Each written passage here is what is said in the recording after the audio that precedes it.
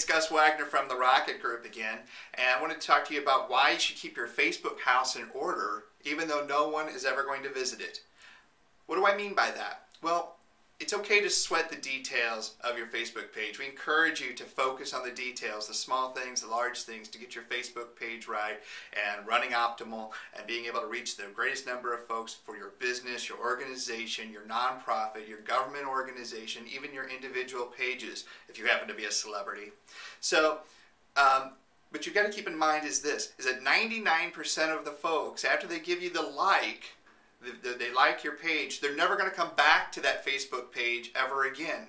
Because 99% of all interaction on Facebook takes place within the news feed, the front page of Facebook.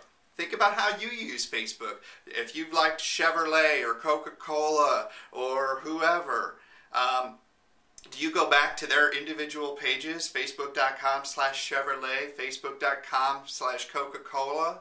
To see what's going on on those pages to see if you've missed something? No. You see their content in the news feed, and that's where you interact with it. And that's where your fans of your individual page, whether you have 10, 100, 1,000, 10,000 fans, that's where they're going to interact with that content. So you don't need to focus so much on um, what's happening with that Facebook page, what's presenting on that Facebook page itself. Worry about what's going out in the content into the news feed. So why that's why you have to post. That's why you need to be posting regularly. Yeah, whether it's frequently uh, uh, optimizing. Encourage, we encourage you to post daily, seven days a week. Post something to your Facebook page that's valuable, that's educating, informing, or entertaining your audiences.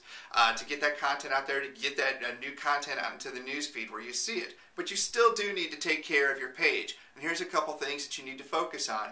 Make sure that your images be, uh, most importantly, your cover image and your avatar, your Facebook profile picture for your business page are to size, that there's not details that are hidden, uh, that's uh, words or pictures that are important that uh, are off the edge of the screen. We see a lot of company logos that uh, are only about three quarters of the logo because they're uh, a horizontal orientation and the edges get cut off. So go use a tool like Canva, C-A-N-V-A.com to help you uh, size those images uh, to the proper dimensions.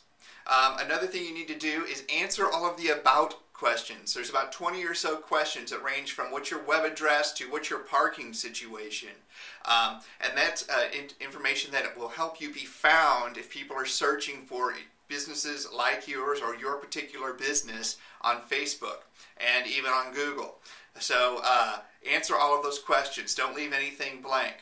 Um, and another thing to do is to act as your page. Go act as your page as Facebook. Use Facebook as the Rocket Group. Use Facebook as Coca-Cola. And go out and interact with the other pages that you've liked. See the things that are happening in your news feed of your brand page. Um, uh, of course, comment and, li and like and reply to interactions that you're getting on your own page. Thank people for the likes and shares and comments, for instance.